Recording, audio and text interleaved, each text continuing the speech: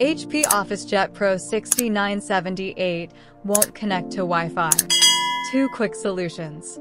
Method 1. Reset the network connection and reconnect it. Step 1. Scroll through the printer's top bar and choose the settings icon. Step 2. Choose Restore Network Settings after selecting Network Setup. Step 3. To continue, click Yes when prompted. Step 4. When the restoration is finished, press OK. Step 5.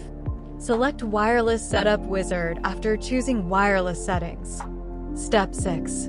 The printer will begin looking for nearby networks that are accessible. Step 7. Click Touch to enter after choosing your network from the list. Step 8. For the adjustments to be confirmed, enter the password and click OK. Step 9.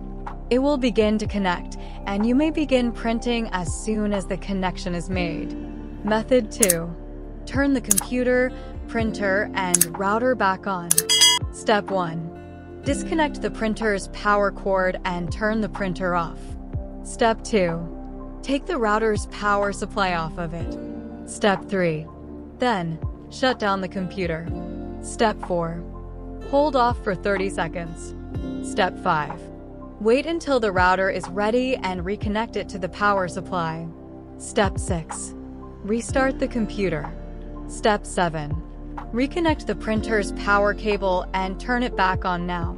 For more assistance and information of this kind, visit us at or contact us at USA plus 1 213 334 6251.